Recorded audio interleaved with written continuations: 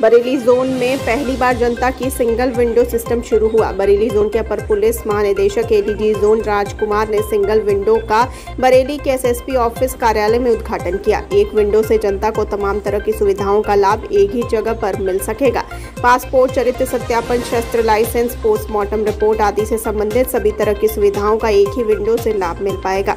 Bareilly SSP office पहुँचे ADG Bareilly zone. Rajkumar ने बताया कि इस तरह की यह सुविधा बरेली जोन में पहली बार बरेली के एसपी कार्यालय में शुरू की गई है। इस तरह की सुविधा लोगों को मिल सके, इसके लिए अन्य जनपदों में भी इसे शुरू कराने की कोशिश की जा रही है।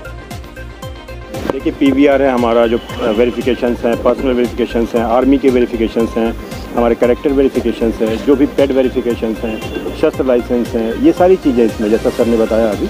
ये सारी चीज़ें इसमें हैं और साथ साथ अन्य रिपोर्ट भी जो पुलिस के द्वारा आपको चाहिए होती है, वो सब इसमें है इंक्लूडेड है। वो सब चीज़ें यहाँ से आपको एक दिन आप अप्लाई करें और बाकी जो नियत अवधि है, उस बीच में आपको मिल जाएगा।